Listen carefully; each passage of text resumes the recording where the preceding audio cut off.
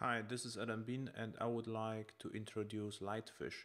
It's a small tool written in Java 6 which is able to monitor a Java 6 application server, like uh, Glassfish in particular, and fetch um, some probes and persist in a relational database, Derby in our case. Um, it was built on Java 6, so I will deploy Lightfish on a Glassfish application server, but uh, Lightfish is able to monitor a remote server. This is actually the usual ca case that the Lightfish accesses a remote application server over REST, fetches the data, persists the data in a relational store uh, using timers, so it's configurable. You can configure the period. The interesting story is um, the data will be pushed um, as with long polling in polling in real time as well. So what I built as well a small JavaFX application which is able to access, which accesses light, Lightfish in real time and draw some charts. So let's install uh, Lightfish. So I would just download from the page and the page is lightfish.adam-bien.com. And yeah, you can download the binary or the sources. Lightfish is open source, it's Apache license. So I would like to download the file to desktop and just save it.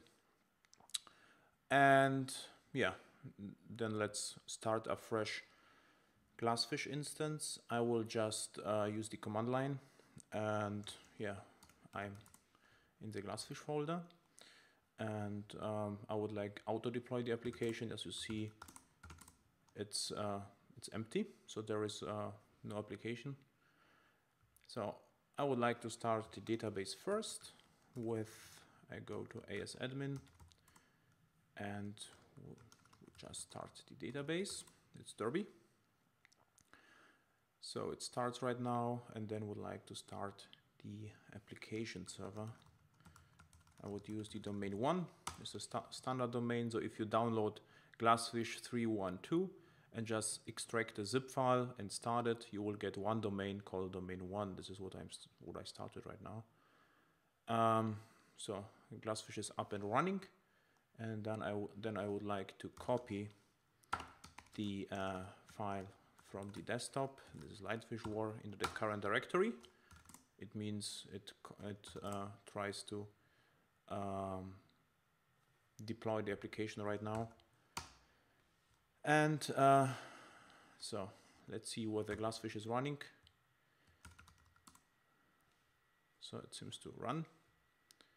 Then I would like to access the Lightfish application. So you only have to, to put the Lightfish URI. It actually looks good. What you see right now is uh, Lightfish is up and running. It was installed in the meantime.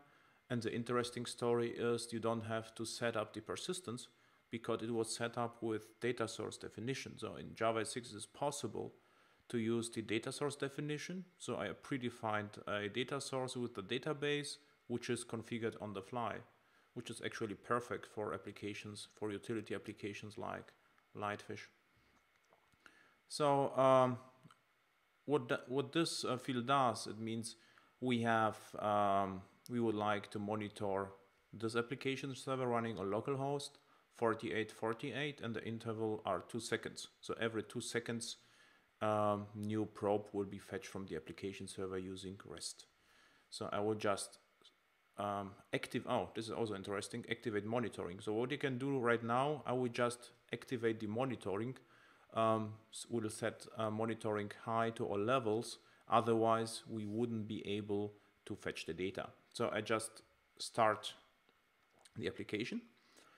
And um, what, what happened right now, uh, now it is activated, so every two seconds it fetches new data uh, from the from Glassfish and persistence in the relational database. So let's fire up LightView. Is the um, LightView is the um, LightView is the um, JavaFX application which monitors, uh, which fetches the data and and um, and draws some charts. So I would like to start the LightView app. Um, So it connected with uh, with Glassfish, as you can see, it draws some nice charts. Um, this is actually usable in stress tests because you see in real time what happens on the server. What also nice, um, this is actually the output again, it's the web view. So I can also control it from here. And um, yeah, you see the number of transactions. There are no rollback, so everything looks fine. Paranormal activity means we have no queued connections, no errors, but we could provoke some errors. Let's say we cause an error and you will see that the error um, is, um, is, is, shown in, in real time in the light view. So, and um, the web, we have two HTTP sessions, no expired sessions, and we can monitor the uh, pools as well. The sample pool and the and timer pools both are pre-installed.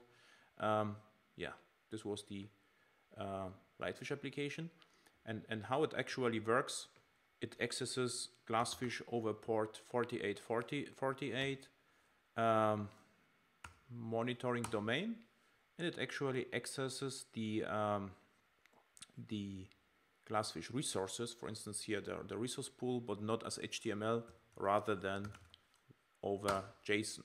So and Lightfish parses the JSON data and, uh, and, and, and interprets or parses the JSON data, creates an JPA object, stores it in the database and pushes this via, via long, long polling. So um, have fun with Java 6 performance testing. Check out Lightfish. If you like, you can participate. You can even clone the whole application on GitHub. So on GitHub, I'm Adam Bien. So if you like, just clone it, but I will clone it back. So enjoy Java 6 hacking and see you in one of my upcoming workshops, conferences, or projects. So enjoy. Thank you.